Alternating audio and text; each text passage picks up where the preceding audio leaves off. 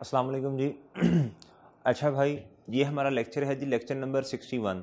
ठीक है, मैं अभी घर गया था और मैं आधे एक मिनट में ना कपड़े फिर वही पहन के आ गया हूँ दोबारा। अच्छा अच्छा भाई, ये जो लेक्चर है ना, ये अभी तीन चार लेक्चर शायद आपको यूट्यूब पे भी अवेलेबल करने पड़े हमें। वो सकम सांसिस कुछ इस तरह के हैं। तो चूँकि आप लोगों की जो पढ़ाई है, वो बड़ी अहम है। नुस्ख नुकसान नुकसान नहीं होने देना इंशाल्लाह आपका। तो आप लोगों ने ना ये फ़ौरन लेक्चर सारे लेने हैं। सही है, अगर नहीं लेंगे तो भाई फिर नुकसान की बात है। और अगर लेक्चर अवेलेबल नहीं करेंगे तो भाई देखें सिलेबस आपका ना फिर आगे प्रोलॉन्ग करता जाएगा। और चूँकि आपके पेपर बाकी भी हैं और इन आपने टाइमली अपनी अटैम्प्ट क्लियर भी करनी है तो सिलेबस टाइमली ख़त्म भी करना है सिलेबस ख़त्म होगा, फिर आप अपनी प्रिपरेशन कर रहे होंगे। सही है, फिर उसके बाद मॉक भी है। तो अगर ज़्यादा हम डिले करते जाएँगे ना वेट करते रहेंगे तो भाई फिर नुकसान की बात है। अब आपने ईमानदारी से ये वाले लेक्चर जो हैं, जैसे ही यूट्यूब पे आए आपने फ़ौरन क्या उसका नाम है? सर को दो ढाई की स्पीड पे भगाना नहीं है। मैं इधर उड़ रहा हूँ, इधर उड़ रहा हूँ। आपने सुकून से इसे लेक्चर को ध्यान से लेना है, ठीक है? जिधर आपके, अब सारे एम मैंने पिछले लेक्चर में आपको करवा दिए हैं। अब जिधर मसला होगा, आप इसे खोलिएगा। मैंने होमवर्क तो आपको दिया था, आपने मोस्टली कर भी लिए थे। ये सारे होमवर्क में आप लोगों ने कर लिए आपने कहा था, सर, हमें समझ भी आ गई है। लेकिन फिर भी कुछ बच्चे जैसे वो शाये होते हैं, शायद पूछते नहीं हैं। फिर उनके लिए अब सारी डिस्कशन हमने कर दी है। तो अब आपने जिधर आपकी गलतियाँ थी, आपने देख लेनी है। और अभी इस लेक्चर में ना, ये तीन छोटे छोटे से कॉन्सेप्ट हैं, ठीक है? एक तो बिल्कुल छोटा है, अभी दो चार मिनट में हो जाएगा। और बाकी दो और कॉन्सेप्ट्स हैं, फिर इस दफ़ा फिर एक, इसके बाद एक दफ़ा नोट्स जो हैं, उसमें हम उसकी रीडिंग कर लेंगे कुछ कुछ इंपॉर्टेंट चीज़ों की, ठीक है? फिर ये चैप्टर हमारा वाइंड अप हो जाएगा, ख़त्म हो जाएगा। अच्छा एक कॉन्सेप्ट है NRV एडजस्टमेंट का। सही है, अब डिफरेंस वाला अगर आप वो टेबल खोलेंगे ना तो एंड पे इलेवन नंबर पे आ रहा है। ये है परपेचुअल लेफ़्ट हैंड साइड ये पीरियोडिक ये जो है ना, ये है जी राइट हैंड साइड इसमें परपेचुअल की बातें इस साइड पे की गई हैं, इधर परपेचुअल की बातें हैं. अच्छा आपको पता है एनआरवी एडजस्टमेंट अगर एनआरवी कम है कॉस्ट ज़्यादा है तो हमने लोअर ऑफ़ पे चीज़ों को रिकॉर्ड करना. तो एनआरवी की एडजस्टमेंट करनी पड़ जाएगी हमें. सही है? उस एडजस्टमेंट को कहते हैं जी, उसकी जो डबल एंट्री होती है ना, वो होती है cost of sale debit inventory credit अच्छा एक अब कॉन्सेप्ट ये है कि एक लफ्स क्वेश्चन में आ जाता है बिफोर और after write down to N R V identified before और after final adjustment of N R V अच्छा ये लफ्स जब अगर पेपर में आ गया ना आइडेंटिफाइड आइडेंटिफिकेशन एंट्री आपने करनी है बिफोर और फाइनल सही है? ये लफ्ज जब बिफोर और आफ्टर सॉरी फाइनल कह रहा हूँ बिफोर और आफ्टर का जब आ जाएगा ना तो हमने चुकन्ने हो जाना है। चुकन्ने क्यों होना है? भाई, अब मैं थोड़ी सी बात ना ज़रा थोड़ी सी हल्की सी बात टेक्निकल करने लगा हूँ, ज़रा गौर से आपने बात को समझना है। भाई, सादा बात तो ये है एनआरवी की एडजस्टमेंट कभी करनी पड़ जाए, उसकी एंट्री कॉस्ट ऑफ़ से डेबिट और इन्वेंट्री क्रेडिट है, ठीक है? लेकिन आपको पता सिस्टम दो हैं, एक है परपेचुअल और एक मेरे भाइयों है पीरियोडिक अब ये दो सिस्टम है। दोनों में एंट्री यही होनी है, लेकिन ना बाज़ात पेपर में वो हमसे एक लफ्ज़ दे देता है, भाई एनआरवी एडजस्टमेंट की डबल एंट्री बता दो। हमें बिफोर बिफोर फाइनल एडजस्टमेंट अगर का लफ्ज़ आ गया और कहता हमें ना एंट्री बता दो तो ये मतलब समझ लें, अब मैं ये समझाने लगा हूँ, ये असल में इसका बिफोर का और आफ्टर फाइनल एडजस्टमेंट का मतलब क्या? भाई, आपको इस बात का तो पता है परपेचुअल के अंदर कॉस्ट ऑफ़ सेल की डब एंट्री जो है वो साथ साथ होती रहती है। जैसे चीज़ें बिकती जाती हैं सेल होती जाती हैं, उसके खर्चे की एंट्री हम करते रहते हैं, करते रहते हैं। लेकिन पीरियोडिक में ऐसा नहीं होता। पीरियोडिक में हमें कॉस्ट ऑफ़ सेल का कब पता चलता है? पीरियड एंड पे आके हम कॉस्ट ऑफ़ सेल को फाइंड कर रहे होते हैं। सही है साथ साथ जब चीज़ें बिकती हैं, हमें कॉस्ट ऑफ़ सेल का पता नहीं चल रहा होता। इस वाले सिस्टम में ऐसा हो रहा होता है, ठीक है जी? उम्मीद है एक बात ये आपको समझ आ गई है। अच्छा अब हमें चूँकि कॉस्ट ऑफ़ सेल का पता नहीं है, सही है, और एनआरवी एडजस्टमेंट आ गई है। एनआरवी की एडजस्टमेंट की एंट्री करनी पड़ गई है। भाई, चूँकि हमें कॉस्ट ऑफ़ सेल का तो पता ही नहीं है, सही है, उसके कहने का मतलब ये है फाइनल एडजस्टमेंट का जो लफ्ज इधर इस्तेमाल किया ना फाइनल एडजस्टमेंट का मतलब ये है कि कॉस्ट ऑफ़ सेल की एडजस्टमेंट कॉस्ट ऑफ़ सेल की एडजस्टमेंट की वो बात कर रहा है। भाई पीरियोडिक के अंदर कॉस्ट ऑफ़ सेल की एडजस्टमेंट हम कब करते हैं? भाई पीरियड एंड पे आके ईयर एंड पे आके, अगर, अब अगर अभी हमने एडजस्टमेंट नहीं की कॉस्ट ऑफ़ सेल की, सही है? एडजस्टमेंट नहीं की, मैं सिर्फ़, मैं पीरियोडिक की बात कर रहा हूँ। हमें, हमने कॉस्ट ऑफ़ सेल की एडजस्टमेंट कॉस्ट ऑफ़ सेल की एडजस्टमेंट नहीं की पीरियोडिक के अंदर, और वो कब करेंगे? और वही वो तो पीरियड एंड पे करेंगे। उससे पहले अगर एनआरवी राइट डाउन की एंट्री अगर करनी पड़े हमें तो चूँकि हमारे पास कॉस्ट ऑफ़ सेल तो रेडीली अवेलेबल ही नहीं है। चूँकि कॉस्ट ऑफ़ सेल हमारे पास रेडीली अवेलेबल नहीं है तो अगर हमें फाइनल एडजस्टमेंट यानी कॉस्ट ऑफ़ सेल की एडजस्टमेंट से पहले एनआरवी की एडजस्टमेंट करनी पड़े तो हम कर ही नहीं सकते। डबल एंट्री होगी नहीं। क्यों? भाई, किधर डबल एंट्री करेंगे? किसको डेबिट करेंगे? कॉस्ट ऑफ़ सेल तो चूँकि हमें है ही नहीं तो उसमें पार्क ही नहीं कर सकेंगे हम। तो जब लफ्ज आ जाए ना बिफोर फाइनल एडजस्टमेंट यानी अभी कॉस्ट ऑफ़ सेल को हमने एडजस्ट ही नहीं किया, हमारे पास है ही नहीं। तो याद रख लीजिएगा याद रख लीजिएगा पीरियोडिक के अंदर कोई डबल एंट्री नहीं होती before identification of final adjustment before adjustment of final before final adjustment जो है, अगर ये लफ्स आ गया पीरियोडिक के अंदर तो कोई एडजस्टमेंट नहीं होगी, सही है? कोई डबल एंट्री हम नहीं कर रहे होंगे, उसकी लॉजिक ये है, हमारे पास कॉस्ट ऑफ़ सेल है ही नहीं। ये वाली बात आपको समझ आ गई होगी, उम्मीद है। अच्छा अब बात रही after final adjustment of closing inventory after final adjustment of closing inventory भाई देखें, आज हमने एडजस्टमेंट कर दी है कॉस्ट ऑफ़ सेल की। हमारे पास क्लोजिंग स्टॉक का भी क्लोजिंग स्टॉक भी हमें पता चल गया और कॉस्ट ऑफ़ सेल का भी पता चल गया। अब एनआरवी की एडजस्टमेंट अगर हमने करनी है तो वो हम कर लेंगे। हमारे पास कॉस्ट ऑफ़ सेल है। हम इन एनआरवी की एडजस्टमेंट कैसे करेंगे? हम कॉस्ट ऑफ़ सेल को डेबिट कर देंगे और इन्वेंट्री को कम कर देंगे। ठीक है जी? ये ये पीरियोडिक के अंदर। और परपेचुअल के अंदर चाहे बिफोर एडजस्टमेंट फाइनल एडजस्टमेंट हो बेशक आफ्टर फाइनल एडजस्टमेंट हो, दोनों में यही वाली एंट्री हम कर देंगे। क्यों? हमें कॉस्ट ऑफ़ सेल का बिफोर का मतलब है, हमें क्या कहते हैं, अभी पीरियड एंड नहीं आया, उससे पहले एडजस्टमेंट करनी पड़ी, हम फिर भी कर देंगे। क्यों? हमें कॉस्ट ऑफ़ सेल का रेडीली कॉस्ट ऑफ़ सेल हमारे पास रेडीली अवेलेबल है। क्लोजिंग स्टॉक का भी हमें पता है, सही है? तो हम ये वाली एंट्री पार्क कर देंगे। सही है? कॉस्ट ऑफ़ सेल डेबिट और इन्वेंट्री क्रेडिट सही है? चाहे बिफोर का लफ्ज आ जाए, चाहे आफ्टर का लफ्ज आ जाए पर के अंदर यही वाली एंट्री होनी है। पीरियोडिक के अंदर भी यही वाली एंट्री होनी है, लेकिन कब होनी है? अगर आफ्टर फाइनल एडजस्टमेंट का लफ्ज आ गया, अगर बिफोर फाइनल एडजस्टमेंट का लफ्ज आ गया तो भाई कोई एंट्री नहीं होनी। और उसकी लॉजिक मैंने आपको बता दी है, हमारे पास रेडिली चीज़ें अवेलेबल नहीं होती, इस वजह से भाई हम पीरियोडिक के अंदर कोई एंट्री नहीं कर सकेंगे, अगर ये वाला लफ्ज आ गया तो। बस इस लफ्ज को अब याद कर लें। अब मैं समरी बताने लगा हूँ, ये जो मैंने सारी बातें की हैं, भाई एनआरवी एडजस्टमेंट की दोनों सिस्टम्स में एक ही एंट्री है। एक ही एंट्री है cost of sale debit inventory credit ठीक है? एक ही एंट्री है, एक ही।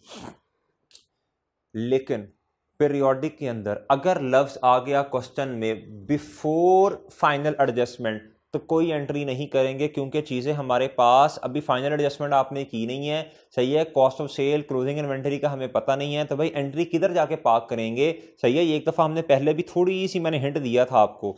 अच्छा तो हम एंट्री कर ही नहीं सकते, सही है? तो बिफोर फाइनल एडजस्टमेंट का अगर लफ्स आ जाएगा तो there is no double entry in case of periodic system ठीक है जी? किस चीज़ की डबल एंट्री नहीं होगी? एनआरवी एडजस्टमेंट की। अब ये वाले एमसीक्यूज अगर आप पढ़ लें हाँ जी, कहता we identify before final adjustment of closing inventory that some of the damage stock is lying in the closing inventory कहता what is the correct treatment to adjust closing stock in periodic system लफ्ज आ गया before final adjustment of सही है? तो अब आप देख लें, कोई भी डबल एंट्री नहीं होनी। No need to pass any entry so no adjustment is required ये बात याद रख लें। सही है? ये बात याद रख लें, बड़ी आसान सी बात है। इस वाले केस में, इस वाले केस में परपेचुअल में, चाहे बिफोर हो आफ्टर एक ही एंट्री होनी है। सही है? क्योंकि चीज़ें हमारे पास रेडीली अवेलेबल है। और पीरियोडिक के अंदर कोई एंट्री नहीं होनी, अगर बिफोर फाइनल एडजस्टमेंट का लफ्ज़ आ गया। बस इसको आप याद कर लें इनशाला उम्मीद है ये आपको सही से समझ आ गया होगा। अच्छा जी, ये बात तो होगी ख़त्म। अब हमने क्या करना है?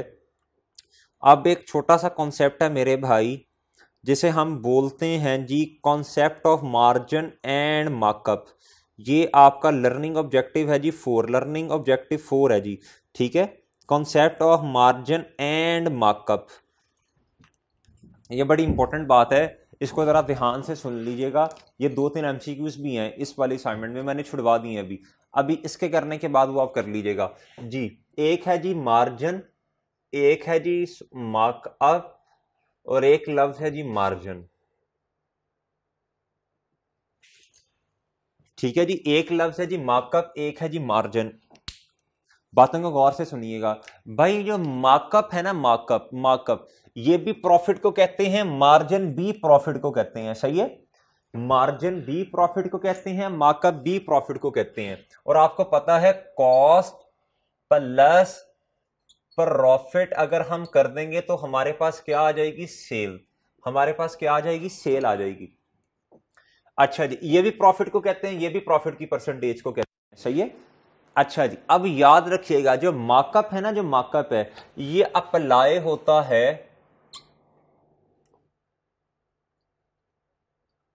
Applied on cost. जो मार्जिन है ना, मार्जिन, ये अप्लाई होता है मेरे भाइयों, applied on sales, applied on sales.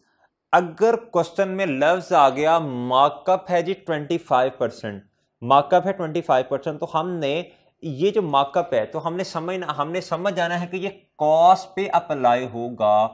किस पे अप्लाई होगा जी? कॉस्ट पे अप्लाई होगा। यानी इस केस में कॉस्ट हंड्रेड होगी। और अगर लफ्ज आ गया मार्जिन मार्जिन तो भाई हमने कहना है, ये किस पे अप्लाई होगा? सेल्स पे अप्लाई होगा सेल्स पे। यानी सेल्स जो है वो हंड्रेड होगी। बात समझ आई है? उम्मीद है आपको बात समझ आ गई होगी। अच्छा जी, ये इधर से पढ़ लें, कहता है margin is always applied on sales mean sales को हमने हंड्रेड कंसीडर कर लेना, पहली बात। सबसे पहली बात क्वेश्चन में अगर लफ्ज आ गया मार्जिन का या मार्कअप का, ये प्रॉफिट की परसेंटेज है। ये ये भी और ये भी। ये अप्लाई होती है कॉस्ट के ऊपर। मार्जिन अप्लाई होता है सेल्स के ऊपर। इसका मतलब है, अगर लफ्ज मार्कअप आ गया ना तो हमने कहना है जी, कॉस्ट हंड्रेड परसेंट है। सही है? कॉस्ट हंड्रेड है। और ये अगर उसने कहा जी, बीस परसेंट है मार्कअप बीस परसेंट है तो भाई कॉस्ट हो जाएगी हंड्रेड परसेंट और प्रॉफिट ट्वेंटी परसेंट मार्कअप और सेल्स आ जाएगी वन ट्वेंटी परसेंट। अगर उसने कहा अगर उसने ये कह दिया कि अप्लाइड ऑन सेल्स तो इसका मतलब फिर ये हो जाएगा मेरे भाई, यही वाली इक्वेशन ऐसे चेंज हो जाएगी। इसका मतलब है कॉस्ट प्लस प्रॉफिट बराबर है सेल्स के। इसका मतलब है सेल हंड्रेड परसेंट होगी। सेल होगी हंड्रेड परसेंट प्रॉफिट तो ट्वेंटी रहना तो बैलेंसिंग ये एट्टी परसेंट आ जाएगा। सही है भाई? उम्मीद है ये बात आपको समझ आई होगी। ठीक है, मैं थोड़ा पॉज लेता हूँ, आप इसको समझने की कोशिश करें। स्केच बनाई उसका। फिर दोबारा, भाई मार्कअप अप्लाई होता है कॉस्ट पे। किस पे? कॉस्ट पे। यानी जिधर लफ्ज मार्कअप आ जाएगा, हम कॉस्ट को 100 परसेंट कंसिडर करेंगे। सही है? और इसकी जो परसेंटेज होगी, वो लगा देंगे। मिसाल के तौर पे मार्कअप है जी 25 परसेंट तो मैंने कहना जी कॉस्ट प्लस प्रॉफिट बराबर सेल है। और मार्कअप अप्लाई होता है कॉस्ट पे। तो कॉस्ट 100 है प्लस 25 परसेंट प्रॉफिट है तो सेल 125 परसेंट हो जाएगी। अच्छा जी, अगली बात। भाई मार्जिन अप्लाई होता है सेल पे, और वो कहता है जी मार्जिन है 25 परसेंट तो मुझे पता है सेल ये अप्लाई होता है सेल पे, यानी सेल होगी 100 परसेंट और मेरे भाइयों, ये हो जाएगा 25 परसेंट तो बैलेंसिंग कॉस्ट कितनी आ जाएगी? 75 परसेंट आगे पढ़े। कहता जी while markup is always applied on cost mean cost is considered hundred percent ये स्टेप नंबर वन है। ये क्वेश्चन में ढूंढना, ये कि मार्जिन है कि मार्कअप ये स्टेप नंबर वन है। फिर इक्वेशन में से फिट करना, ये स्टेप नंबर टू है। कहता however both margin markup represent profit ये मैंने आपको बता दिया। कहता इफ़ मार्ज अच्छा पहले इधर तक बात कर लें। उम्मीद है इधर तक बात आपको समझ आई होगी। इधर तक बात समझ आ गई या मैं आगे चलता हूँ? कहता, अगर margin and markup is not given अगर मार्जिन या मार्कअप नहीं दिए कहता then it is written that profit is twenty percent on cost और सेल कहता, अगर मार्जिन या मार्कअप उसने नहीं बताए हुए क्वेश्चन में तो फिर इस तरह बताएगा प्रॉफिट ट्वेंटी परसेंट है जी कॉस्ट के ऊपर कॉस्ट के ऊपर। तो किसके बारे में बता रहा कॉस्ट कॉस्ट के बारे में बता रहा तो भाई कॉस्ट को हंड्रेड परसेंट रखिएगा प्रॉफिट बीस परसेंट रखिएगा सेल आपके पास वन ट्वेंटी परसेंट पे आ जाएगी। सही है? अगर वो कहता है बीस परसेंट प्रॉफिट है सेल का तो भाई ये आ, ये प्रॉफिट तो बीस परसेंट आ जाएगा। किसका है? भाई का के बाद वाली जो बात है ना वो वो आपने हंड्रेड लेनी है। ऑन का लफ्स आ जाए या ऑफ़ का? ऑन सेल या ऑफ़ सेल ऑन ऑफ़ के बाद जो लफ्ज होगा ना, वो हंड्रेड पे ले लेना है आपने। ये बात समझ आई भाई आपको? अहमद भाई, आपको भाई ऑन या ऑफ़ के बाद जो लफ्ज होगा ना ऑन या ऑफ़ के बाद जो लफ्ज होगा, उसे आपने हंड्रेड ले लेना है। उम्मीद है ये बात समझ आई होगी। अगर कहेगा ना profit is twenty percent on sale तो इसका मतलब है सेल हंड्रेड परसेंट है। और प्रॉफिट ट्वेंटी परसेंट है, ये आ जाएगा एटी परसेंट बैलेंसिंग अगर कहेगा ना प्रॉफिट है जी थर्टी परसेंट ऑन कॉस्ट इसका मतलब है कॉस्ट हंड्रेड परसेंट है प्रॉफिट थर्टी परसेंट आ गया और सेल एक सौ तीस परसेंट पे है। उम्मीद है ये बात समझ आई है। कहता ऑलवेज रिमेंबर कि ऑन स्लैश ऑफ़ लिख लें। वर्ड के बाद जो चीज़ होगी कॉस्ट और सेल वो हंड्रेड परसेंट पर है। या तो आपको मार्जिन या मार्कअप के बारे में बता देगा। अगर ये नहीं बताया तो बता देगा प्रॉफिट लगना किस पे है। अच्छा ये तो होगी भाई बात, ये तो होगी एक बात। अब दूसरी बात कहता देन आइडेंटिफाई कि क्वेश्चन में सेल की अमाउंट गिवन है या कॉस्ट की? अब क्वेश्चन के अंदर हमने देख लेना है अमाउंट कौन सी गिवन है? ये तो परसेंटेजेस की बात होगी ना। फिर दूसरे नंबर पे हमने देखना अमाउंट कॉस्ट की गिवन है या सेल की? जो अमाउंट गिवन होगी, सही है? मिसाल के तौर पे, मिसाल के तौर पे मैं ये वाली इक्वेजन लेता हूँ, ये वाली इक्वेजन ले लेता हूँ। मिसाल के तौर पे ये इक्वेजन है और क्वेश्चन में गिवन है, भाई कॉस्ट है जी एक lakh one twenty thousand one twenty thousand cost है। मैंने निकालनी है जी सेल की फिगर सेल की अमाउंट निकालनी है। तो मैं देखूँगा कॉस्ट वन ट्वेंटी थाउज़ेंड पे है, ये कितने पे पड़ी हुई है? ये वन ट्वेंटी थाउज़ेंड पे पड़ी है ये वन ट्वेंटी थाउज़ेंड है, ये पड़ी है जी एटी परसेंट पे। मुझे सेल चाहिए। सेल कितने पे पड़ी है? हंड्रेड पे। तो भाई मैं इस तरह करके ये निकाल लूँगा। ये मेरा ख्याल है कितनी आ जाएगी। वन वन फिफ्टी थाउज़ेंड मेरे पास सेल आ गई। वन फिफ्टी थाउज़ेंड मेरे पास, मेरे भाइयों, क्या आ गई? सेल आ गई। ठीक है? बात, उम्मीद है, बात समझ आ रही होगी आपको। अच्छा अब ना जी इसकी कुछ प्रैक्टिस कर लेते हैं। कहता जो अमाउंट गिवन हो, उसे न्यूमिनेटर में रखें और उसकी परसेंटेज को डिमिनेटर में and multiply it with the required percentage कहने का मतलब ये है कहता जो अमाउंट उसने क्वेश्चन में दे दी है ना कहता उसे ऊपर रखें। ये उसने मिसाल के तौर पे क्वेश्चन में दे दी वन ट्वेंटी थाउज़ेंड इसे ऊपर रखा, इसकी परसेंटेज को नीचे रखा, इसकी परसेंटेज को नीचे रखा। ठीक है जी? कहता, जो आपको चाहिए प्रॉफिट चाहिए तो उससे मल्टीप्लाई कर दें। सेल चाहिए तो उससे मल्टीप्लाई कर दें। आसान सी बात है। अच्छा जी, अब असल में ना, हम इसके करते हैं जी क्वेश्चन फिर इंशाल्लाह बात जो है, हमें आसानी से समझ में आ जाएगी। अब एक दफ़ा मैं सारी बातें दोबारा रिपीट करता हूँ। भाई देखिए क्वेश्चन में यहाँ तो कहेगा, या तो हमें बताएगा मार्जिन है, या बताएगा मार्कअप है। कहता जी ट्वेंटी परसेंट मार्जिन है। तो मैंने कहना जी ट्वेंटी परसेंट प्रॉफिट है। और ये मार्जिन है। मार्जिन का मतलब ये सेल पे लगेगा। तो सेल हंड्रेड है और प्रॉफिट ट्वेंटी तो कॉस्ट एटी परसेंट पे आ जाएगी। अगर कहता जी मार्जिन है मार्कअप है मार्कअप तो मुझे ट्वेंटी परसेंट मार्कअप है। तो मुझे पता है ट्वेंटी परसेंट मार्कअप है और मार्कअप लगता है कॉस्ट पे तो कॉस्ट हंड्रेड है। तो सेल वन ट्वेंटी पे आ जाएगी। ये एक बात हो गई। ठीक है जी? अगर मार्कअप मार्जिन में बातें नहीं की तो वो कह देगा जी ट्वेंटी परसेंट ऑन प्रॉफिट है ट्वेंटी परसेंट ऑन सेल का. ऑन या ऑफ़ के बाद जो लफ्ज लिखा होगा ना सेल या कॉस्ट वो हंड्रेड परसेंट होगा. उसने कहा ट्वेंटी परसेंट प्रॉफिट सेल का है? तो सेल हंड्रेड है प्रॉफिट ट्वेंटी है तो कॉस्ट एटी होगी. अब ये तो बात होगी परसेंटेजेस की. अब देखें, अब उसने क्वेश्चन में ना एक चीज़ बताई होगी कि भाई सेल इतनी है. तो भाई वो कहेगा जी कॉस्ट आप निकाल दें या प्रॉफिट आप निकाल दें। या कहेगा जी कॉस्ट इतनी है अमाउंट में बताएगा। तो कहेगा जी प्रॉफिट निकाल दें या सेल निकाल दें। तो जो चीज़ उसने, या तो उसने हमें कॉस्ट दी होगी, या उसने सेल दी होगी। जो चीज़ उसने हमें दी होगी ना, जो अमाउंट हमें दी होगी, उसको ऊपर रखेंगे, उसकी परसेंटेज से डिवाइड करेंगे और रिक्वायर्ड से मल्टीप्लाई कर देंगे, जवाब आ जाएगा। अब क्वेश्चन करते हैं भाई। कहता है cost of the product is rupees eight hundred कहता कॉस्ट कितनी है प्रोडक्ट की? आठ सौ रुपया. ये उसने कॉस्ट दी हुई है कॉस्ट दी हुई है कॉस्ट की अमाउंट दी हुई है। कहता प्रॉफिट इज़ बीस परसेंट ऑन कॉस्ट कहता find the sale price of the product भाई, मैंने सबसे पहले क्या बनाई? मैंने बना ली इक्वेशन बना ली। अच्छा वो कहता है, कहता, जी cost of the product is आठ सौ, ठीक है, ये तो अमाउंट दी ना, ये स्टेप नंबर टू है। कहता, भाई प्रॉफिट इज़ बीस परसेंट ऑन कॉस्ट भाई ऑन का मतलब है सेल हंड्रेड पे है प्रॉफिट बीस परसेंट है, एक सौ बीस आ गई सेल अच्छा कहता है find the sale price of the product sale price हमने निकाल के देनी है। कहता जी उसने कॉस्ट हमें क्वेश्चन में दी हुई है। भाई कॉस्ट है जी आठ सौ रुपया।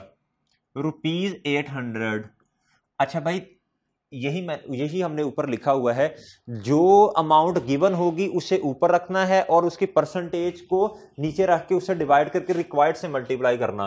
तो भाई उसने हमसे सेल की अमाउंट मांगी है ना तो भाई इस, ये ये 800 कितने को रिप्रेजेंट कर रहा है? ये 100 को रिप्रेजेंट कर रहा।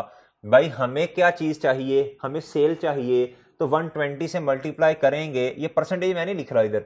करेंगे तो हमारे पास क्या आ जाएगी मेरे भाई? हमारे पास सेल आ जाएगी 960 उम्मीद है बात आपको समझ आई होगी। ठीक है? और अगर मिसाल के तौर पे मैं, मेरे पास ये वाली अमाउंट होती 960 ये सेल प्राइस है। सेल प्राइस कितने को रिप्रेजेंट कर रही है? 120 और मुझे निकालनी होती अगर कॉस्ट तो भाई कॉस्ट कितनी है? अगर ये इक्वेशन आपने बना ली ना, ये वाली तो क्वेश्चन ऑटोमेटिकली सॉल्व हो जाएगा। और फिर आइडेंटिफाई कर लिया क्वेश्चन में गिवन क्या है? सही है ये मैंने ये मैंने खुद ये मैंने ये मैंने निकाला कि ये, चीज़ मुझे गिवन है क्वेश्चन में। तो भाई ये ये किसकी परसेंटेज को रिप्रेजेंट कर रही? भाई ये सेल है ये सेल है। सेल 120 पे पड़ी तो मैंने जाना है 100 पे। तो ये जवाब आ जाएगा? 800 इस तरह आसानी से इंशाल्लाह सॉल्व होगा। कहता cost of the product is rupees hundred कहता जी profit is twenty percent on sale profit है जी ट्वेंटी परसेंट ऑन सेल। तो भाई इसका मतलब है, ऑन सेल का मतलब सेल हंड्रेड पे है, प्रॉफिट बीस पे है तो भाई सेल कितने, कॉस्ट कितने पे है? एटी पे। और भाई कॉस्ट उसने दी हुई है आठ सौ रुपया। भाई आठ सौ रुपया कॉस्ट है, ठीक है जी? और ये कॉस्ट कितने पे पड़ी है? ये 80 पे पड़ी है, मुझे रिक्वायर्ड क्या है? भाई, मुझे सेल निकालनी है। फाइंड सेल प्राइस इससे मैं 100 से कर दूँ मल्टीप्लाई तो रुपीज़ वन थाउज़ेंड जवाब आ जाएगा। मजीद इसकी प्रैक्टिस करते हैं। कहता जी Jafar associate sold generator to Sajid भाई for rupees one four four zero triple zero कहता था price is net of sixty percent sixty thousand special discount कहता है, ये वाली जो प्राइस है ना, ये साठ हज़ार रुपया डिस्काउंट करने के बाद है, ये नेट अमाउंट है और हमें चाहिए भी नेट भाई। ग्रॉस नहीं चाहिए होती, हमें नेट चाहिए होती है। सही है? जो, ये ट्रेड डिस्काउंट माइनस करके चाहिए होती है। कहता अच्छा जी, कहता Jafar associate normally sale items at twenty five percent markup markup इसका मतलब है जी मार्कअप का मतलब मार्कअप लगता है कॉस्ट पे। तो कॉस्ट हंड्रेड होगी hundred plus twenty five percent तो सेल एक सौ पच्चीस पे होगी। अच्छा जी और हमें उसने कहता है and use perpetual inventory system to record inventory कहता है which of the following entry is correct to update the inventory तो भाई, हमें क्या चाहिए? हमें इन्वेंट्री की अमाउंट चाहिए ना? यानी कहता इन्वेंट्री हमने अपडेट करनी है। तो जो चीज़ें हमारे से चली गई, हमें उसकी एंट्री करनी पड़ेगी इन्वेंट्री को क्रेडिट करना पड़ेगा और वो कॉस्ट से करते हैं। और कॉस्ट ऑफ़ सेल को डेबिट करना पड़ेगा। अब भाई ये इक्वेशन कैसे बनेगी? ये भी इंशाल्लाह बना लेते हैं। अभी बन जाती है भाई। जी। कहता जी मार्कअप कितना है? 25 परसेंट ऑन मार्कअप किस पे लगता है? कॉस्ट पे। ये आ गया जी 125 परसेंट आ गया। अब देखें जी क्वेश्चन में कौन सी वाली अमाउंट गिवन है? ये sold generator sale price given है one four four zero triple zero तो भाई rupees one four four zero triple zero ये सेल कितन, कितनी परसेंटेज को रिप्रेजेंट कर रही है? 125 भाई, मुझे क्या चाहिए? मुझे कॉस्ट चाहिए। सही है कॉस्ट से इन्वेंट्री की एडजस्टमेंट करूँगा ना कॉस्ट से डेबिट इन्वेंट्री क्रेडिट तो हंड्रेड से मल्टीप्लाई कर दूँगा तो मेरे पास जो तो जवाब आएगा, वो आएगा जी one one five two triple zero. ये जवाब आ गया, ये कॉस्ट है जी। ठीक है कॉस्ट ऑफ़ से डेबिट इन्वेंट्री क्रेडिट ये देख लें, ये समझाया नीचे। आप देखें जी, ये तीन चार क्वेश्चन है, इसकी प्रैक्टिस कर लें इनशाला H M has following products calculate sale price and profit कहता जी प्रोडक्ट ए है बी है सी है डी है और ई e है। कहता जी कॉस्ट ये उसने कॉस्ट दी हुई है। कहता, ये उसने प्रॉफिट की परसेंटेजेस दी हुई है। कहता, और सेल प्राइस हमने क्या करनी है जी? वो फाइंड कर लेनी है जी। ठीक है, अभी कर देते हैं सर अच्छा जी। जी कॉस्ट दी हुई है और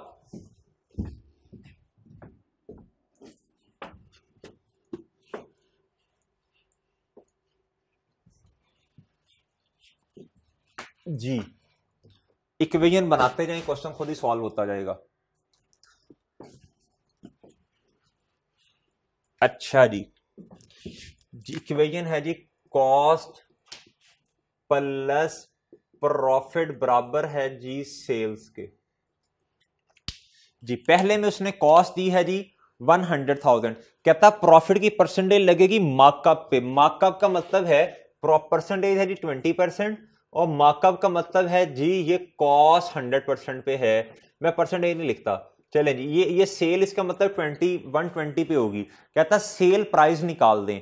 सही है कॉस्ट उसने खुद दी हुई है। तो भाई, जो चीज़ उसने दी हो ना, उससे क्या कहते हैं, उसको ऊपर रखना है। वन हंड्रेड थाउज़ेंड डिवाइड करें, ये कितने पे पड़ी हुई है? और भाई, हमें सेल प्राइस चाहिए तो सेल कितने पे होगी? वन ट्वेंटी पे। तो ये आपके पास जवाब आ जाएगा वन ट्वेंटी थाउज़ेंड ठीक है जी प्रोडक्ट ए का जवाब आ गया। बी का जवाब निकाल लें कहता जी कॉस्ट है टू सेवेंटी थाउज़ेंड कहता फिफ्ट ये है प्रॉफिट है पंद्रह परसेंट मार्जिन तो मार्जिन का मतलब क्या है? मार्जिन का मतलब मेरे भाई होगा मार्जिन का मतलब फिफ्टीन परसेंट प्रॉफिट है मार्जिन लगता है सेल पे। तो भाई, इसका मतलब सेल हंड्रेड परसेंट होगी तो ये एटी फाइव परसेंट आ जाएगा। तो भाई टू सेवेंटी थाउज़ेंड हमारे पास कॉस्ट की फिगर है कॉस्ट की फिगर हमारे पास है। और मेरे भाइयों, कॉस्ट कितने पे पड़ी है? 85 पे। रिक्वायर्ड क्या है? सेल। तो इसे आप कर देंगे, जवाब आ जाएगा 317617 आगे आ जाए भाई। भाई, कॉस्ट हमारे पास गिवन है। Profit 25 percent markup. इसका मतलब है मार्कअप कॉस्ट इसके पास कॉस्ट आपके पास 100 परसेंट है और 25 परसेंट जो है, ये प्रॉफिट है। तो सेल 125 पे पड़ी होगी। तो भाई, इस टाइम मेरे पास कौन से वाली अमाउंट है जी? आठ लाख तीस हज़ार। आठ लाख तीस हज़ार कॉस्ट है। कॉस्ट कितने पे पड़ी है? ये मार्जिन है ना? मार्कअप है सॉरी मार्कअप कॉस्ट पे लगता है। तो भाई इसका मतलब कॉस्ट आपके पास हंड्रेड परसेंट है। आठ लाख तीस हज़ार को डिवाइड करें, एक वन हंड्रेड एक सौ से मल्टीप्लाई कर दें, एक सौ पच्चीस से, आपके पास जवाब आ जाएगा। अच्छा अब मैं रिवर्स कैलकुलेशन करूँ जरा। मिसाल के तौर पे आपके पास सेल है eight lakh ninety seven thousand और क्वेश्चन पढ़ लेनी कहता है जी, प्रॉफिट है आपके पास thirty percent markup. Thirty percent markup का मतलब है ये हंड्रेड होगा और प्रॉफिट होगा जी थर्टी और ये बैलेंसिंग आ जाएगी सेवेंटी परसेंट। मैं कैलकुलेशन कर रहा हूँ प्रोडक्ट डी की। मैं रिवर्स कैलकुलेशन कर रहा हूँ। अच्छा जी, मैं एज्यूम करता हूँ, ये मेरे पास नहीं है। मेरे पास सेल प्राइस है। भाई सेल प्राइस है eight nine seven triple eight nine seven triple zero भाई, अब मुझे फाइंड करना कि ये सेल कितने पे पड़ी हुई है? ये हंड्रेड पे है। भाई, मुझे क्या चाहिए? मुझे कॉस्ट चाहिए। भाई, आप कैलकुलेट कर लें, आपके पास सिक्स नाइन्टी थाउज़ेंड कॉस्ट आ जाएगी। और दूसरी बात सेल कितनी है? Eight nine seven divided by hundred मुझे चाहिए रिक्वायर्ड मुझे चाहिए प्रॉफिट तो भाई प्रॉफिट की परसेंटेज कितनी है? थर्टी ठीक है? तो ये मेरे पास प्रॉफिट आ जाएगा। आप कैलकुलेट करके देख लें। ये आएगा वन दो लाख सात हज़ार शायद आएगा। करके देख लें, यही होगा। उम्मीद है आपको बात समझ आई होगी भाई।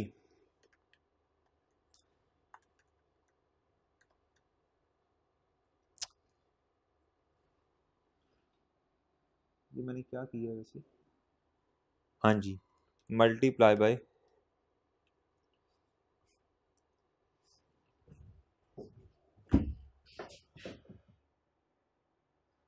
अच्छा भाई ये मार्कअप है ना? थर्टी परसेंट मार्कअप है। तो ये eight nine seven triple zero markup किस पे लगता है? सॉरी ये गलत हो गया भाई ये गलत हो गया। ये ये, ये हमने गलत क्वेश्चन सॉल्व कर लिया है।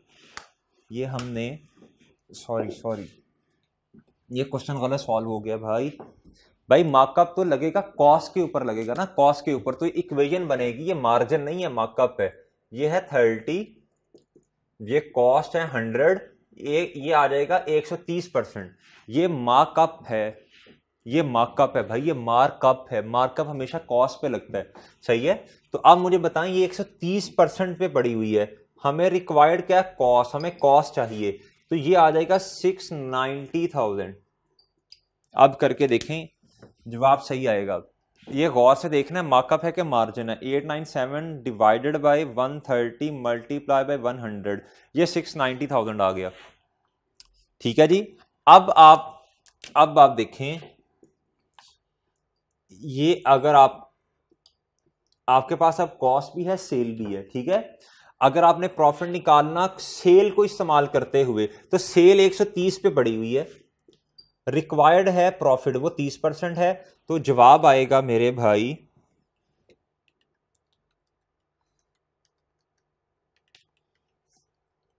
दो लाख सात हज़ार। अगर आपने प्रॉफिट निकालना है कॉस्ट को इस्तेमाल करते तो भाई कॉस्ट कितनी है? सिक्स नाइनटी थाउज़ेंड और ये कितने पे पड़ी हुई है? ये इक्वेजन है ऊपर। ये हंड्रेड पे पड़ी है। और तीस परसेंट प्रॉफिट है तो जवाब आ जाएगा दो लाख सात हज़ार। प्रॉफिट तो सेम ही रहना ना, चाहे कॉस्ट को इस्तेमाल कर लें, चाहे सेल को। उम्मीद है बात आपको समझ आ गई होगी, ठीक है? अच्छा जी, ये वाला अब आप खुद कर लीजिएगा। एग्ज़ाम टिप अब आपने गौर से ये वाली पढ़ लेनी है खुद, ठीक है भाई? ये अब आपने मेरे भाई खुद पढ़ लेनी है। अच्छा जी अब हमने इधर आते हैं। एक दो क्वेश्चन जो छोड़े थे, वो अभी कर लेते हैं solve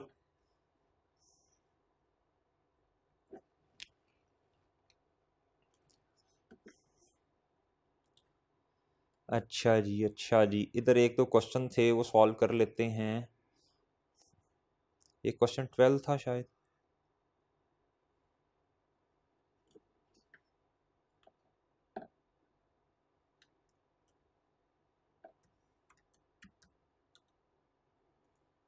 ji.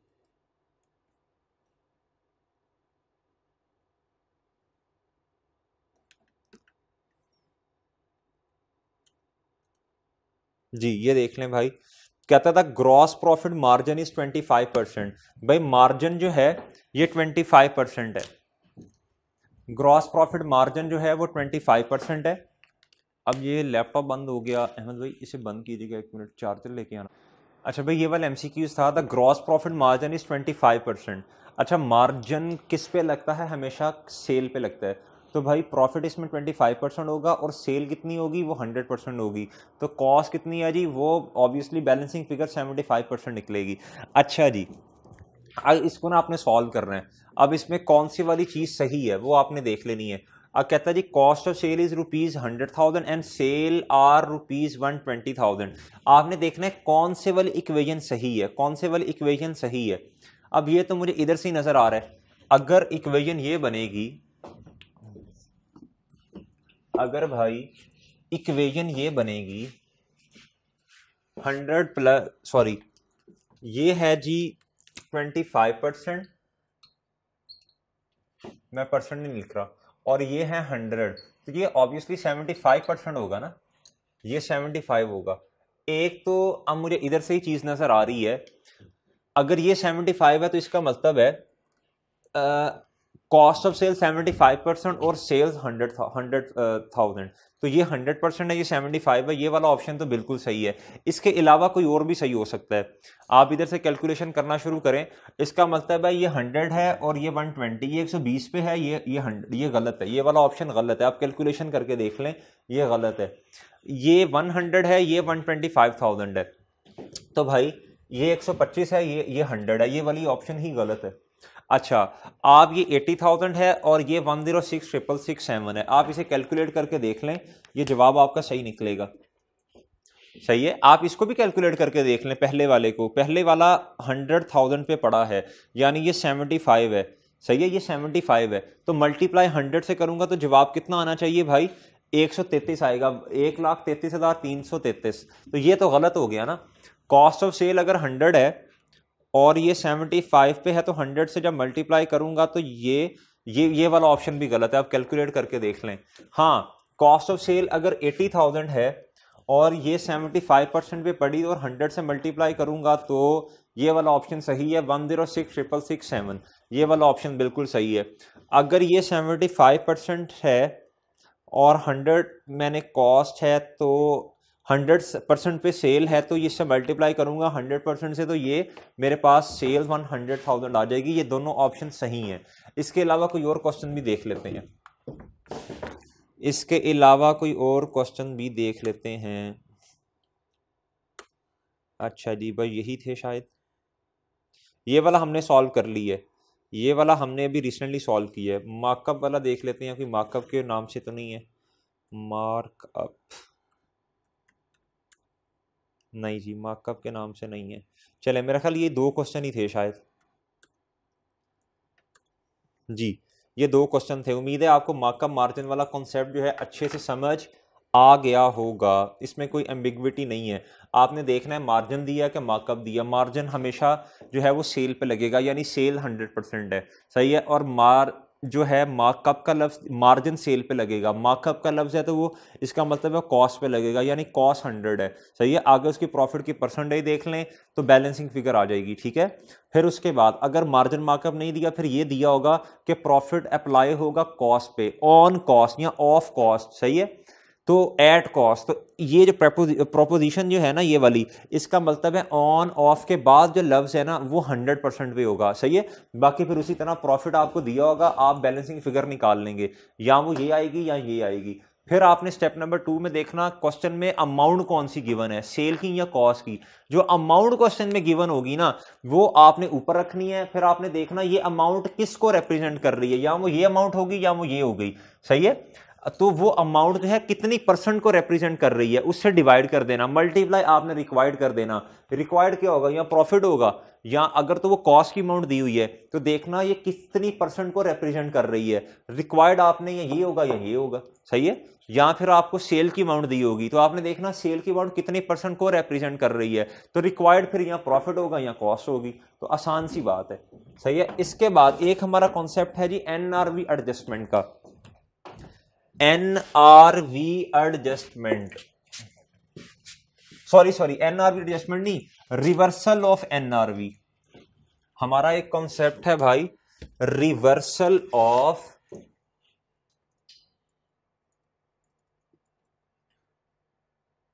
reversal of N R V यानी इसका मतलब ये है, हमने अपनी किताबों में कॉस्ट जो है, वो रिकॉर्ड की होगी। सही है, लेकिन एनआरवी जो है वो कम होगी तो हमने एनआरवी की एडजस्टमेंट कर दी होगी। सही है, एक बात ये। अब ये जो एडजस्टमेंट किया ना, इसकी रिवर्सल की बात कर रहा है। रिवर्सल जब एडजस्टमेंट कर दी होगी तो हमने एक्सपेंस रिकॉर्ड किया होगा। सही है? अब हम इसकी रिवर्सल को सीखने लगे हैं कि भाई, अब देखते हैं असल में होता क्या है। ये अगर हम अपने नोट्सों में जाएँ तो लर्निंग ऑब्जेक्टिव आ रहा होगा। ये रहा भाई।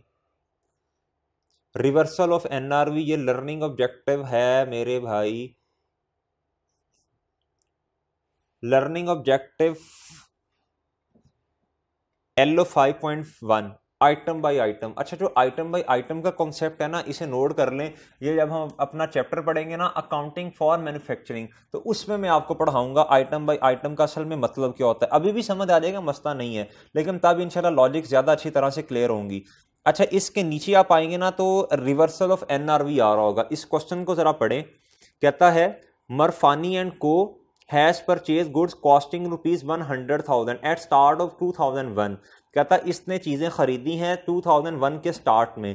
कहता however the goods remain unsold कहता, ये चीज़ें नहीं बिक सकी, बहुत तेरी खैर फॉर पाँच साल पाँच साल चीज़ें ही नहीं बिक सकी। कहता and the estimating selling price and cost of realisation भाई कॉस्ट ऑफ़ रियलाइजेशन का मैंने आपको बताया था?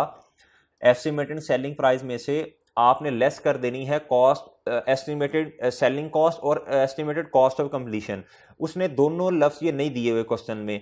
और अगर लफ्ज़ दे दिया ना कॉस्ट ऑफ़ रियलाइजेशन तो रियलाइजेशन को आपने माइनस कर देना है सेलिंग कॉस्ट में सॉरी एस्टिमेटेड सेलिंग प्राइस में से। आपके पास एन आ जाएगी। कहता वर एज फॉलोज कहता, जी स्टार्ट में देखें। कहता, जी एस्टिमेटेड कॉस्ट है जी एक लाख रुपया। एस्टिमेटेड सेलिंग प्राइस है फ़र्स्ट जनवरी 2001 पे दो लाख बीस हज़ार और एस्टिमेटेड कॉस्ट ऑफ़ रियलाइजेशन है बीस हज़ार रुपया। ठीक है जी? उसके बाद ईयर एंड जब आ गया पहले साल का तो भाई मेरे सेलिंग प्राइस एक लाख पैंतीस हज़ार है और कॉस्ट ऑफ़ रियलाइजेशन है पंद्रह हज़ार। इसी तरह दूसरे साल के एंड पे, तीसरे, चौथे और पाँचवें साल के एंड पे उसने हमें एस्टिमेटेड सेलिंग प्राइस का डेटा भी दिया हुआ है और उसने हमें जो है वो रियलाइजेशन कॉस्ट भी दी है। यानी एन हम कैलकुलेट कर सकते हैं हर साल के एंड पे। और ये एडजस्टमेंट जो हम करते हैं ना, ये साल के शुरू में नहीं करते, ये साल के आखिर में कर रहे होते हैं। अच्छा जी, अब मैं क्या करूँगा? अब मैं इस तरह करके ना एक तो कॉस्ट का कॉलम बना लूँगा। कॉस्ट ये एक ही प्रोडक्ट की बात हो रही है ना, एक ही प्रोडक्ट है वो पाँच साल बिकी नहीं है। कॉस्ट और फिर भाई एनआरवी इन दोनों में से जो लोअर है, उसको मैं रिकॉर्ड करूँगा। फिर मैं तीसरा कॉलम बनाता हूँ जी recorded at lower of lower of क्या भाई? Cost and N R V, इन दोनों में से जो लोअर होगा वो मैं इधर रिकॉर्ड कर दूँगा। सही है जी? Year one year two year three year four और ईयर फाइव पाँच साल का डेटा मेरे पास है। ये तो साल के शुरू का डेटा है ना, ये वाला फ़र्स्ट जनवरी इसको तो मैं अभी कुछ नहीं कर रहा। तो ये मुझे ईयर एंड पे कैलकुलेट करना है ना, इकतीस दिसंबर इकतीस दिसंबर, ये चार, पाँच साल है मेरे पास। जी। भाई कॉस्ट तो हर साल की चेंज नहीं ना हुई।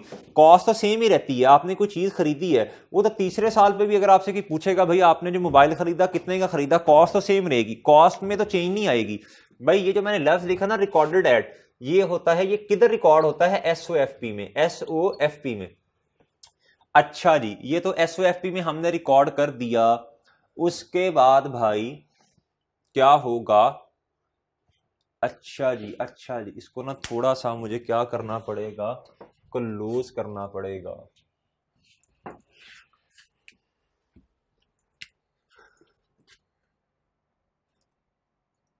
Cost NRV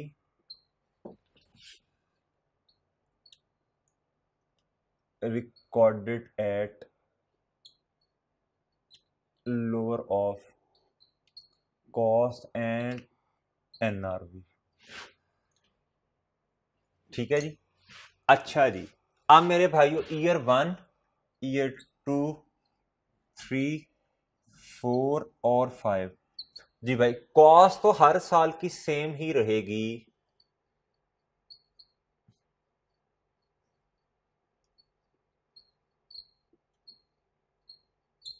अच्छा जी।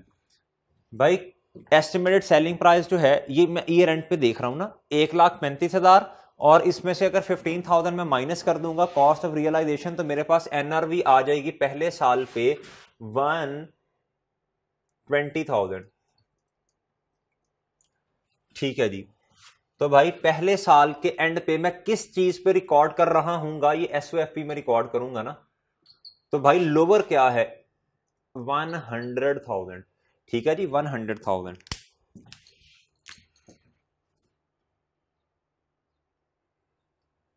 अगर मैं ऐसे करूँ, ये एस ओ एफ़ पी है, अगर मैं एक्सट्रैक्ट बना लूँ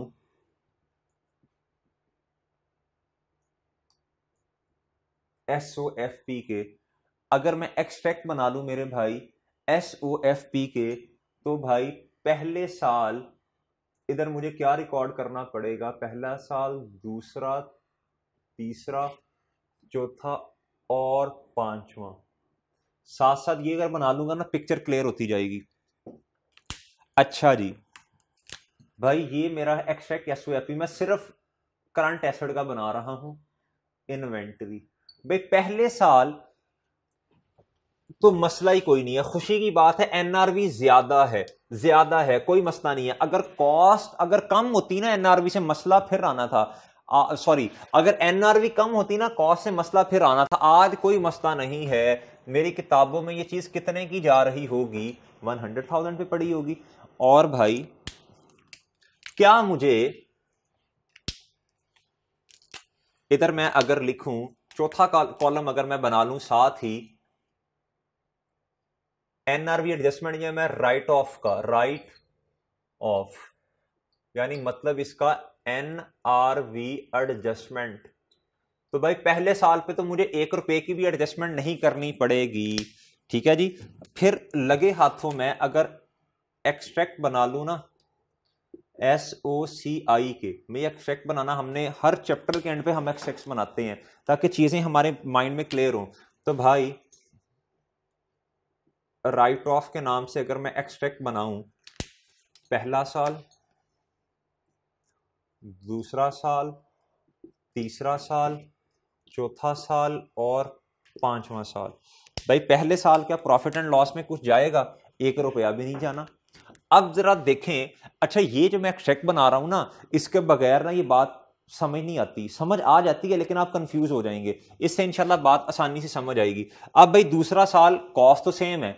अब भाई मुझे बताएँ, दूसरे साल के एंड पे एनआरवी कितनी है? एक लाख रुपया सेलिंग प्राइस है और मेरे भाइयों, जो एस्टिमेटेड रियलाइजेशन कॉस्ट है, वो है जी एक, वो है दस हज़ार रुपया। तो भाई ये कितनी आ गई? एनआरवी आ गई। एक लाख में से दस हज़ार माइनस करें तो एनआरवी आ गई भाई नाइनटी थाउज़ेंड। भाई मुझे बताएँ, मैं बैलेंस शीट में लोअर ऑफ़ पे रिकॉर्ड करूँगा तो लोअर क्या है? NRV ninety thousand. भाई चीज़ कल के जो बिकेगी ना, वो नाइन्टी थाउज़ेंड को बिकेगी। और प्रूडेंस अंकल कहते हैं, अगर आपको पता कल की एक चीज़ जो है, वो कॉस्ट से भी कम की बिकनी तो जितनी कम की बिकनी, उसकी एडजस्टमेंट कर दें। भाई, प्रॉफिट एंड लॉस में कुछ लेके जाऊँगा मैं? इधर मैं लिख देता हूँ, profit and loss. Profit and loss में कुछ लेके जाऊँगा? बिल्कुल भाई। दस हज़ार की मुझे एडजस्टमेंट करनी पड़ेगी। दस हज़ार की मुझे क्या करनी पड़ेगी भाई? एडजस्टमेंट करनी पड़ेगी। तो भाई मुझे बताएँ, यही वाला स्टॉक कितने पे रिकॉर्ड करूँगा मैं किताबों में? नाइन्टी थाउज़ेंड पे। सही है भाई? पिछले साल एक लाख पे था, अब कितने से करना पड़ेगा? नाइन्टी थाउज़ेंड तो भाई मेरा मेरा जो एस जो मेरी एनआरवी है, वो कॉस्ट से भी कम की है। तो भाई इधर मुझे कुछ रिकॉर्ड करना पड़ेगा? एसोसिएशन या प्रॉफिट एंड लॉस में? जी, बिल्कुल। दस हज़ार से एज एन एक्सपेंस रिकॉर्ड करूँगा। अगला साल आए भाई। तीसरे साल के एंड पे नाइन्टी थाउज़ेंड और fifteen thousand. Ninety thousand selling price में से पंद्रह हज़ार में मजीद माइनस कर दूँ तो मेरे भाई मुझे अमाउंट बता दें, ये आ जाएगी NRV seventy five thousand ninety thousand में से मैं अगर फिफ्टीन थाउज़ेंड माइनस कर दूँ तो भाई ये आ जाएगी सेवेंटी फाइव थाउज़ेंड अब मुझे बता दें एक बात मैं सेवेंटी फाइव थाउज़ेंड से चीज़ों को रिकॉर्ड करूँगा या फिर वन हंड्रेड थाउज़ेंड से लोअर क्या है? भाई लोअर है seventy five thousand, seventy five thousand lower है। ठीक है जी? अब मुझे बता दें, अब ये जो सारा काम मैं कर रहा हूँ ना, ये मैं सिर्फ़ इस बात को समझाने के लिए कर रहा हूँ। अब आप क्या करेंगे, कुछ बच्चों, मेरा सवाल है, जरा सोच के, आपने घर बैठे सोचना इस बात को।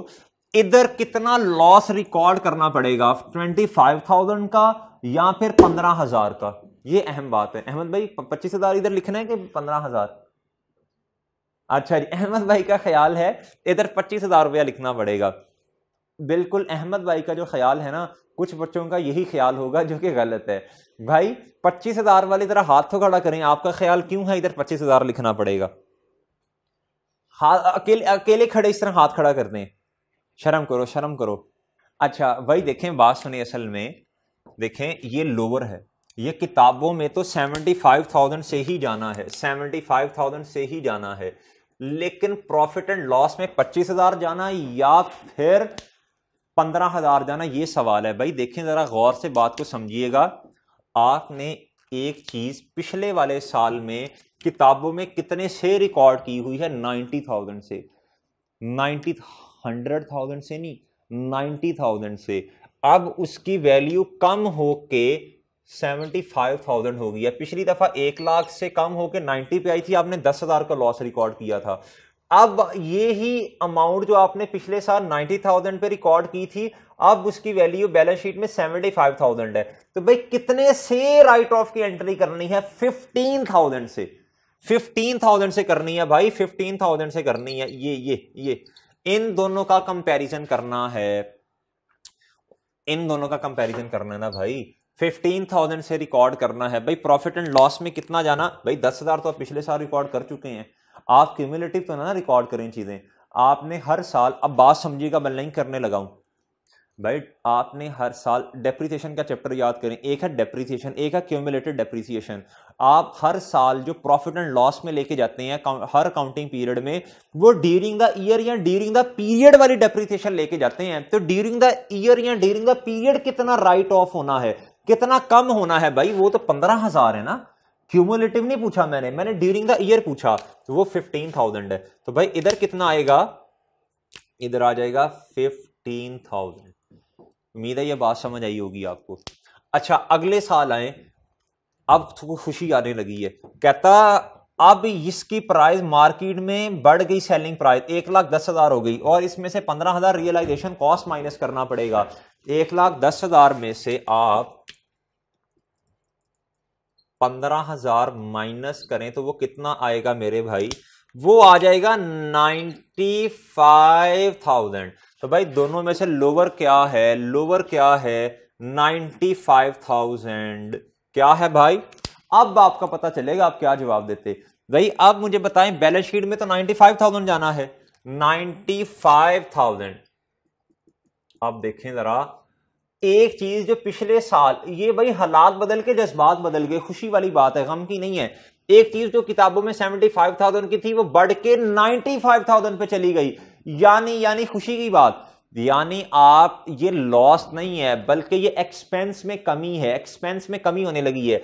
एक चीज़ की वैल्यू बढ़ गई, जो सेवेंटी फाइव थाउज़ेंड पे थी, वो नाइन्टी फाइव थाउज़ेंड पे चली गई। यानी अब आपको एडजस्टमेंट करनी पड़ेगी बीस हज़ार रुपए की।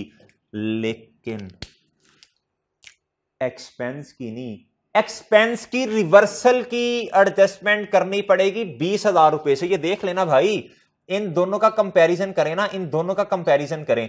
ये ये कम हो रही है। भाई, ये बढ़ रही है। ये बीस हज़ार से अमाउंट बढ़ रही है, बढ़ रही है।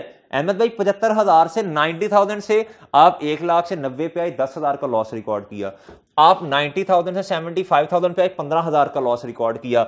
आप पचहत्तर से नाइन्टी फाइव थाउज़ेंड पे आगे, बीस हज़ार का एक्सपेंस रिकॉर्ड नहीं करना। अमाउंट बढ़ गई है, बढ़ गई है। आपका जो मोबाइल है उसकी वैल्यू बढ़ गई है भाई। तो ये अच्छी बात है, ये गम की बात नहीं है। तो ट्वेंटी थाउज़ेंड से रिवर्सल ऑफ़ एक्सपेंस की एंट्री रिकॉर्ड करें। रिवर्सल ऑफ़ एक्सपेंस ये रहा ट्वेंटी थाउज़ेंड ये एक्सपेंस में कमी है, ये एक्सपेंस में कमी है मेरे भाई। एक्सपेंसिस में ना, हम जो एक्सपेंस हैं, उसे इस तरह, एक डिब्बा बनाते हैं, उसमें सारे एक्सपेंस लिखते हैं। उसमें ये भी अंदर आ नेगेटिव अमाउंट से, यानी एक्सपेंस में कमी को शो कर रहा होगा। अगली बात, पाँचवें साल के एंड पे आपकी सेलिंग प्राइस है एक लाख बीस हज़ार रुपया और रियलाइजेशन कॉस्ट है दस हज़ार रुपया। एनआरवी आ जाएगी। अब इधर गलत जवाब नहीं देना भाई, घर बैठ के सोचें और शर्म करें अगर गलत जवाब दिया आपने। भाई, मुझे बताएँ लोअर क्या है? लोवर क्या? आज एनआरवी बढ़ गई है कॉस्ट से भी तो भाई, लेकिन हमने तो लोअर पे रिकॉर्ड करना ना। और आप मुझे बताएँ आप पहले इन दोनों का कंपैरिजन करें 95,000 से चीज़ बढ़ के 100,000 पे आ गई। और मेरे भाई कितने से बढ़ी? पाँच हज़ार से बढ़ गई। तो भाई ये खुशी की बात है ना? आपने जिस चीज़ का लॉस रिकॉर्ड किया था आज उसकी कीमत बढ़ती जा रही है। किताबों में कितना आएगा? एक लाख दस से नहीं बल्कि बल्कि मेरे भाई किताबों में आएगा एक लाख दस हज़ार से। एक लाख दस हज़ार से। और मेरे भाई, ओ सॉरी माजरत माजरत। ये मैंने जान के किया भाई वैसे, ये वाला, ताकि आपको याद रहे। भाई, किताबों में आएगा एक लाख रुपए से। भाई कॉस्ट से ऊपर नहीं जा सकते आप। और मुझे बता दें मेरे भाइयों, इधर एक्सपेंस में कमी, है, या एक्सपेंस है। बताएँ भाई एक्सपेंस में कमी है। सही है भाई? ये इधर आ जाएगा फाइव थाउज़ेंड ये है जी reversal of expense reversal of NRV उम्मीद है बात आपको समझ में आ गई हो गई। ये कॉन्सेप्ट है जी रिवर्सल ऑफ़ एनआरवी का रिवर्सल ऑफ़ एनआरवी का। ठीक है जी? एक दफ़ा दोबारा रिपीट करता हूँ। साल के शुरू, साल के पहले साल के एंड पे कॉस्ट इतनी थी एनआरवी एक लाख बीस हज़ार थी। भाई दोनों में कम क्या है? एक लाख। कोई मसला नहीं है भाई। एनआरवी अभी भी ज़्यादा है। कोई एक्सपेंस रिकॉर्ड करने की ज़रूरत पहले साल नहीं है। दूसरे साल भाई एनआरवी 90 है 90,000 है और जो कॉस्ट है वो एक लाख है। दस हज़ार का एक्सपेंस रिकॉर्ड करना पड़ेगा। ये हमने कर दिया और 90,000 से चीज़ों को रिकॉर्ड कर दें कॉस्ट सॉरी एनआरवी पे। इन दोनों में से लोअर क्या? 75,000 लेकिन आपका स्टॉक तो 90,000 पे पड़ा हुआ है तो आपको कितना कम करना पड़ेगा? पंद्रह हज़ार से। ठीक है भाई? यानी आज तक आपने 25,000 का लॉस रिकॉर्ड कर दिया। और मेरे भाइयों चौथे साल के एंड पे दोनों की आपने देखें इस एनआरबी 95,000 है यानी पिछले साल से बढ़ गई और कॉस्ट इतनी है। तो आपको किताबों में 95,000 रिकॉर्ड करना पड़ेगा। और मुझे बताएँ कितने से वैल्यू बढ़ गई? आपने पिछले साल जो चीज़ 70,000 की रिकॉर्ड की थी 75,000 की वो 95 पे चली गई तो 20,000 से एक्सपेंस में कमी है। और मेरे भाई अब इन दोनों का कंपैरिजन करें, पाँचवें साल पे एक लाख कॉस्ट है एनआरवी एक लाख दस हज़ार है। लेकिन हम तो लोअर ऑफ़ पे रिकॉर्ड करेंगे। चीज़ कितने से बढ़ गई? पाँच हज़ार से बढ़ गई तो ये एक्सपेंस में रिवर्सल है। आपने पिछले सालों में जो एक्सपेंस रिकॉर्ड किया था, वो रिवर्स हो गया। उम्मीद है बात आपको समझ आ गई होगी। अच्छा एक बात ना ज़रा सुनिएगा। एक क्वेश्चन वैसे आपसे करने लगा प्रैक्टिस हो जाए। अब अब पेपर में तो इतना लंबा क्वेश्चन तो नहीं आएगा ना भाई, सीधी सी बात है। और एक बार जरा देखें, ये सारी बातें समझाने के लिए ना, ये दो, ये ये दो दो तीन लाइनें समझाने के लिए मैंने एक्सट्रैक्ट्स बनाई हैं ये सारे। वरना आप इधर गलती से ना ट्वेंटी फाइव थाउज़ेंड लिखते इधर। ठीक है? इधर, और इधर भी गलती करते इसलिए मैंने सारी पिक्चर मैंने कहा आपके सामने, इसलिए एक्सट्रैक्ट्स बना रहा हूँ मैं। अच्छा भाई आप सुनिएगा। कहता है, आपने पिछले साल में ये नया क्वेश्चन है। आपने पिछले सालों में एन राइट डाउन की एंट्री कर दी है। राइट ऑफ़ की एंट्री कर दी है बीस हज़ार रुपए से। बीस हज़ार रुपए से। यानी मिसाल के तौर पे एनआरवी बीस हज़ार से कम होगी ना, इसलिए एंट्री की है बीस हज़ार की। कहता अगला साल आया और एनआरवी बढ़ एनआरवी दस हज़ार रुपए से बढ़ गई है। एनआरवी दस हज़ार से बढ़ गई है। तो मेरे भाई, इसका मतलब ये है अब हमें रिवर्सल करनी पड़ेगी एनआरवी की दस हज़ार रुपए से, सही है?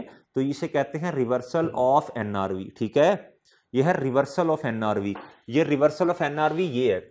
हम हम, हमारे पिछले वाले साल में एक कॉन्सेप्ट तो ये है, जब एनआरवी कॉस्ट से कम होगी तब हमें एंट्री ये वाली करनी पड़ेगी। दूसरा एनआरवी पिछले साल की क्या उसका नाम है? कम है, अगले साल बढ़ गई है।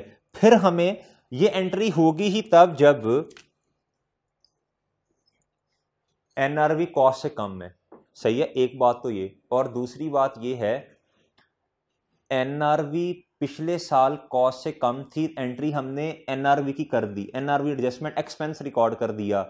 अगला साल जब आया तो पिछले साल जितनी एनआरवी थी ना, उससे बढ़ गई, उससे बढ़ गई। तो फिर हमें रिवर्सल ऑफ़ एनआरवी की एंट्री करनी पड़ जानी है। सही है? अच्छा जी, एक और एग्जांपल ले लें।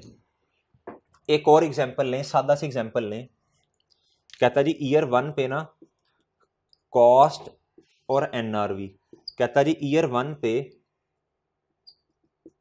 ईयर वन के एंड पे कॉस्ट है जी मिसाल के तौर पे नाइन्टी थाउज़ेंड एनआरवी है जी सेवेंटी फाइव थाउज़ेंड भाई, मुझे कितने से चीज़ों को रिकॉर्ड करना पड़ेगा? किताबों में सेवेंटी फाइव थाउज़ेंड से, ठीक है? और एक्सपेंस की एंट्री में सिर्फ़ इधर वो रिकॉर्डेड एट चले, लिख लेता हूँ recorded at by seventy five thousand भाई एक्सपेंस की एंट्री मुझे प्रॉफिट एंड लॉस में कितने से करनी पड़ेगी? फिफ्टीन थाउज़ेंड से। भाई, अगला साल आया, ये कॉस्ट तो उतनी रहनी है ना ईयर टू पे। भाई एनआरवी आ गई एटी फाइव थाउज़ेंड से। भाई, अब मुझे रिवर्सल ऑफ़ एन एनआरवी की एंट्री करनी पड़ेगी। ये एटी फाइव थाउज़ेंड आ जाएगा लोअर और रिवर्सल कितना हुआ? भाई, पाँच, दस हज़ार से चीज़ें बढ़ गई ना एनआरवी बढ़ गई तो दस हज़ार से मुझे एनआरवी रिवर्सल की एंट्री करनी पड़ेगी। तीसरा साल आया। ये तो नाइन्टी थाउज़ेंड ही रहना है और ये हो गया जी नाइन्टी फाइव थाउज़ेंड। भाई, मैं मैक्सिमम नाइन्टी थाउज़ेंड तक चीज़ों को लेके जा सकता हूँ और अमाउंट बढ़ के जो बैलेंस शीट में जानी वो पाँच हज़ार से बढ़ गई। एटी फाइव से नाइन्टी पे आ गई। तो भाई, पाँच हज़ार से reversal of N R V की एंट्री करनी पड़ेगी।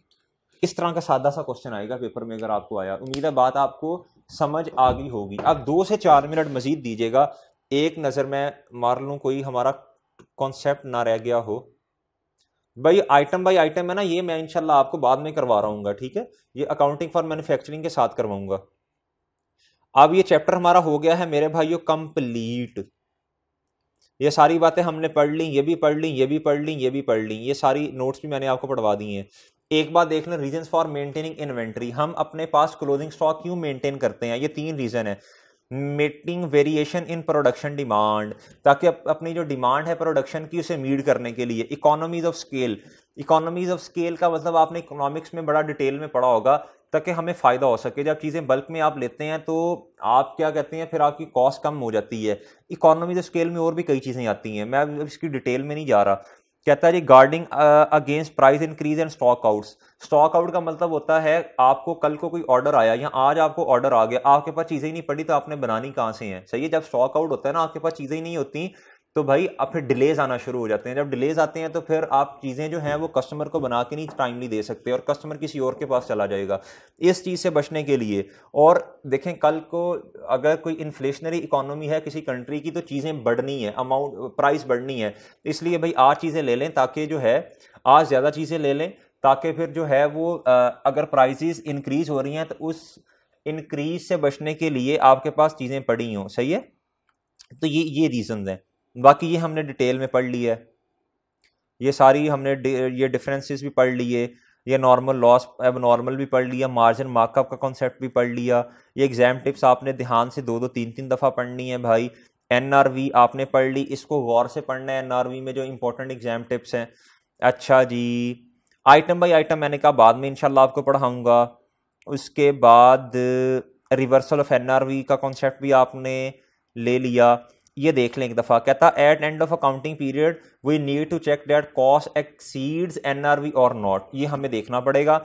इफ़ कॉस्ट ज़्यादा है एनआरवी से तो भाई तो फिर मसला है ना तो फिर हमें राइट डाउन की एंट्री करनी पड़ेगी। If at the next accounting period NRV ज़्यादा होगी कॉस्ट से एनआरवी कॉस्ट से भी बढ़ गई of the same product then reversal up to the extent of loss reversal shall be made सही है? अगर एनआरवी एनआरवी से बढ़ गई तो हमें रिवर्सल की एंट्री करनी पड़ेगी। कहता, अगर एनआर आपने पिछले सालों में एनआरवी कम थी कॉस्ट ज़्यादा थी तो एनआरवी की एडजस्टमेंट कर दी होगी राइट डाउन की। कहता, अगर एनआरवी अगले साल में कॉस्ट से भी बढ़ गई तो फिर आप कॉस्ट से ज़्यादा तो नहीं रिकॉर्ड सकते, कर सकते लोअर ऑफ़ पे रिकॉर्ड करेंगे, लेकिन up to the extent of cost जो है, उधर तक फिर हम जो है वो रिवर्सल की एंट्री कर देंगे, जिस तरह हमने इधर की है ना।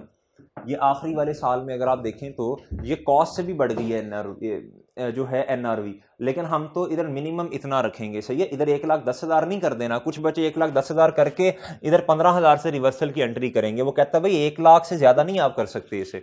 ठीक है? इधर एंड पे पंद्रह हज़ार की रिवर्सल की एंट्री नहीं कर देनी, पाँच हज़ार तक रहना है। अच्छा जी, ये फिर जनरल एग्ज़ाम टिप्स हैं। ये क्लोथिंग स्टॉक डायरेक्टली प्रोपोर्शनल है प्रॉफिट के, ये सारी चीज़ें जो आपको कई दफ़ा बताई हैं। ये पढ़ लें आप। कहता जी if in case of goods has been use in the office then it should be classifies as property plant equipment तो क्लासीफाई हो जाएँगी ना, इसकी एंट्री लिखी हुई है, ये एमसीक्यूज भी दिया था आपको, अभी डिस्कस भी किया है। इन्वेंट्री तब क्रेडिट होगी जब परपेचुअल सिस्टम है, और परचेजेस तब क्रेडिट होंगी जब पीरियोडिक सिस्टम है, और नॉन करंट एसेट आपको पता है वो तो डेबिट ही होना है। तो ये सारी चीज़ें हमने कर ली हैं। अच्छा अब ना एक्सटेक्स में मैक्सिमम क्या चीज़ें आ सकती हैं? कहता जी कॉस्ट ऑफ़ सेल आ सकती है राइट डाउन ऑफ़ इन्वेंट्री आ सकता है राइट डाउन और राइट डाउन ऑफ़ इन्वेंट्री का मतलब एनआरवी की एडजस्टमेंट और लॉसेस आ सकते हैं। सही है? लॉस आ सकता है डैमेज होगी इन्वेंट्री इस तरह की चीज़ें आ सकती हैं। Reversal of write down reversal of write down का मतलब क्या होता है? अगर आप एक्स बनाएँगे ना तो इस तरह करके रिवर्सल आ सकती है इसकी, ठीक है? अब आप कहेंगे, सर जी, आपने तो ये मैं रेस कर रहा हूँ, आपने इसकी पिक ले लेनी थी पहले, थोड़ा पीछे करके लेक्चर ले लीजिएगा। और सही है भाई? प्रॉफिट एंड लॉस का अगर एक्सट्रैक्ट बनाऊँगा तो कॉस्ट ऑफ़ सेल आएगी। इसमें उसके बाद राइट डाउन की एंट्री आ सकती है राइट ऑफ़ की और रिवर्सल ऑफ़ एनआरवी आ सकता है। सही है? अब आप सोचेंगे, सर जी राइट ऑफ़ और रिवर्सल ऑफ़ एनआरवी इकट्ठा तो नहीं ना आएगा? भाई सही है, लेकिन हो सकता किसी, ये किसी और प्रोडक्ट की बात की जा रही हो, ये किसी और प्रोडक्ट की बात की जा रही हो। मिसाल के तौर पे ये एक लाख है, ये तो एक्सपेंस है ना। सही है? ये एक्सपेंस है एक्सपेंस है। और ये बीस हज़ार है और रिवर्सल पाँच हज़ार है तो ये नेगेटिव से लिख देना है आपने। ये मैं एक्सपेंसिस की बातें कर रहा हूँ ना, ये इस तरह। उम्मीद है बात आपको समझ में आ रही होगी ये वाली। अच्छा जी एस में क्या जाता है? एस में क्लोजिंग इन्वेंट्री जाती है। क्लोजिंग इन्वेंट्री कुछ भी हो सकती है। सही है, ये हम इनशाला ये ये चीज़ें लिखी हैं ना, ये मैं अकाउंटिंग फॉर मैनुफैक्चरिंग के चैप्टर में डिटेल में इनशाला आपको बता रहा हूँ और ये डिस्क्लोजर्स हैं, इस पर हमने बात कर ली है, ठीक है? चलें, ये चैप्टर हमारा ख़त्म और इसके साथ हमारा लेक्चर भी ख़त्म। फिर आपसे मुलाकात होगी, अल्लाह हाफिज़।